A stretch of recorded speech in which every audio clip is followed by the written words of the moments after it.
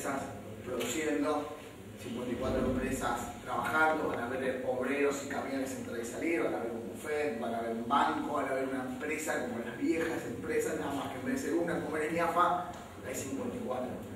Este es un parque, tenemos 7 parques más. Así que de esta manera, apenas digo, recuperamos casi 30.000 puestos de trabajo en estos últimos 7 años. Igual acá van a haber un poco de todo, van a haber mucha mano de obra en algunas de las empresas, en otras no van a haber tanta mano de obra, van a haber mucha más tecnología, pasando recurso humano, pero en todos los casos se genera mano de obra. No solo en los parques, sino en el resto de Verazategui, que se instalaron casi 400 empresas, 383, en 7 años nada más.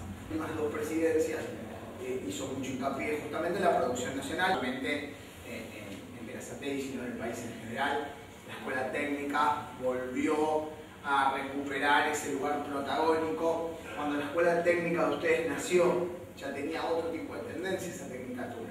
Por eso la técnica de ustedes y nosotros, dos que nacieron, que son en informática, porque la vieja tecnicatura, la del técnico químico, la del técnico mecánico, hace ocho años atrás, no tenía razón de ser. Los profes lo saben, los egresados del POLI, los egresados de la técnica 1 y 2, no tenían laburo, ¿Y qué va a tener laburo si no hay fábricas? la escuela técnica empezó a caer y a desprestigiarse.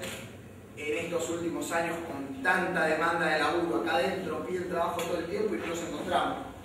Todo el tiempo en una bolsa de trabajo que tenemos nosotros en el municipio, piden técnicos y no los encontramos. Nos terminan pidiendo igual a los eh, apenas ingresantes de las escuelas técnicas para formarlos porque no tienen más gente porque está totalmente ocupada la gente en esas escuelas técnicas, porque fueron 10 años de, falta de inversión justamente en industrias y por eso la escuela técnica no funcionaba. Y ahora volvió. No es casualidad que hagamos un puente bajo nivel acá en Sevilla, ya no es que antes no se hacía un puente, solamente porque no estaban las sino porque no pasaban camiones.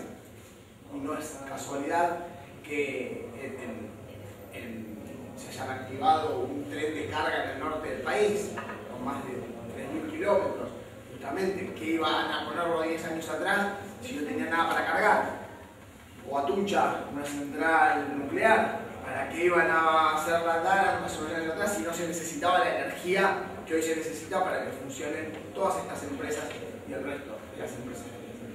Todo tiene que ver con un proceso de reindustrialización que este último gobierno nacional últimas dos presidencias eh, hizo mucho hincapié justamente en la producción. Elegí Verazate.